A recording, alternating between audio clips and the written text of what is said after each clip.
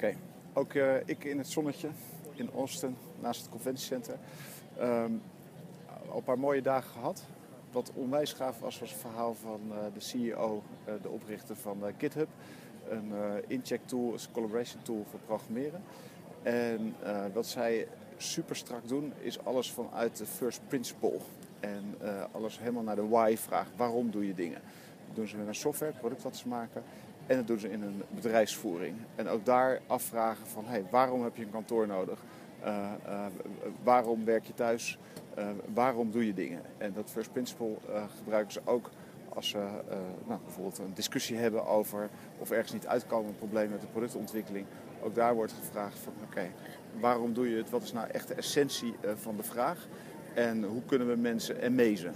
En dat emezen gaat in de productontwikkeling, zoals ik al zei, maar ook naar medewerkers toe. En uh, nou, de manier om gewoon helemaal uh, wars te kijken van wat er is. Alles opnieuw met frisse ogen te bekijken. En met een model te komen wat in de bedrijfsvoering en in de productontwikkeling wat echt serieus vernieuwend is.